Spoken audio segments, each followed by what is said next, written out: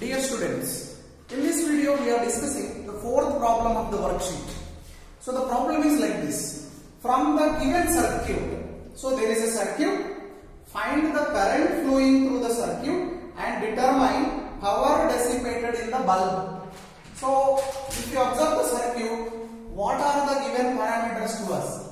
V is equal to 18 volt and R We have to find the current I and they are asking us to find power dissipated in the bulb, power also.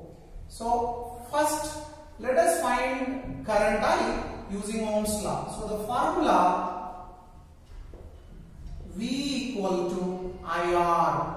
So using this formula I is equal to V by R. So let us substitute that. V is how much? 18. R is 3. So 3 ones are 3 6 are. Therefore I is equal to 6 ampere. Okay. Now we can find power. Further we should use formula. Power is equal to V into I.